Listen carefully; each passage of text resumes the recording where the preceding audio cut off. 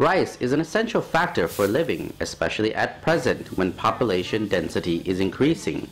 The demand of rice is increasing as well. To ensure foodstuff production, particularly sufficient rice production, ASEAN member countries have imposed policies for its member countries to concentrate on sustainable and secure food production, focusing on clean agricultural production, which places no harm to plantation soil, along with ensuring establishment of National Rice Reserve and ASEAN Emergency Rice Reserve. การค้ำประกันเสบียงอาหารและโภชนาการท่านภาษาอังกฤษเพื่อนเอน food security และก็ nutrition ท่าน Food security and nutrition is not only the issue within Lao PDR, but of worldwide concern and is included in Millennium Development Goals or MDG, or Sustainable Development Goals or SDGs. Thus, UNDP directs its membership countries of organization worldwide to pay attention to food security and nutrition issue. Lao PDR, as an ASEAN family country, particularly during AEC, spanned under the campaign of single market and production base. This means wherever within ASEAN member countries, rice and food production is not only serving for domestic consumption, but for the whole member countries, especially where is insufficient production or issue arise. This does not mean that other countries do not desire to make production, but might be because insufficient climate factors supporting production in such countries. Therefore, besides sufficient production for local consumption, it is required to make supplement production for other ASEAN countries when they are in need.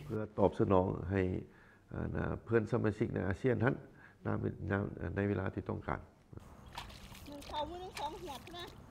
To ensure sufficient food production with increasing demand, thus rice production is defined as the focal point for foodstuff, which is establishment of national rice reserves in 10 provinces throughout the country. It is among the government's action plans for food security, which is the first priority to achieve determining goals of National Rice Production Program and Animal and Aquatic Raising Promotion Program, along with clean agriculture and focal rice production. Besides that, the government will improve necessary policies for rice production and animal husbandry for foodstuff expansion in both quantity and quality. This is to cater increasing demand of foodstuff. แขวงเวียงจันทร์ก็เป็นแขวงหนึ่งที่ว่ามันติดพันกับนครหลวงเวียงจันทร์ติดพันกับ Regarding strategy and vision of agriculture and forestry sector, it is mainly associated with ensuring the country's food security by sustainable agriculture and agricultural production development with both quantity and quality.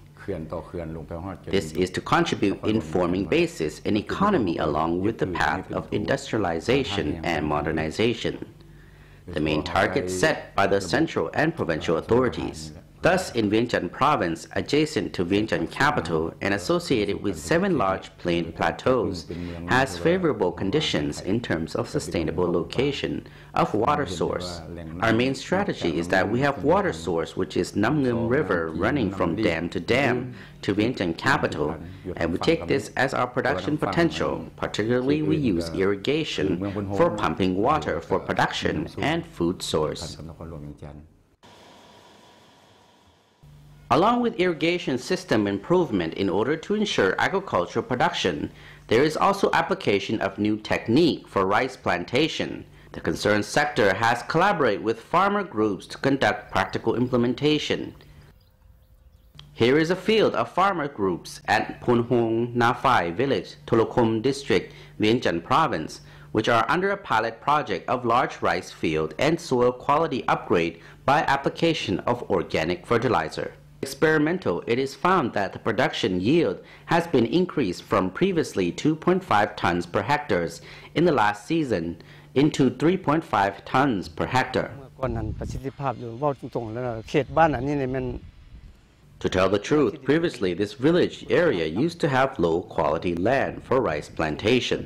The maximum capacity was only 2.5 tons per hectare.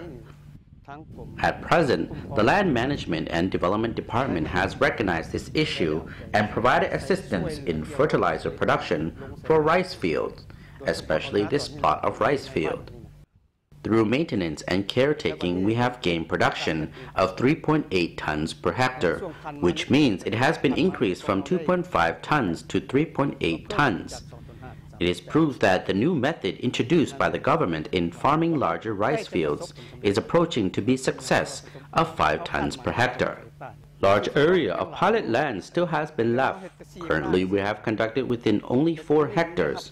When we got good yield, we will expand to other areas of project members because here is a merely a pilot area.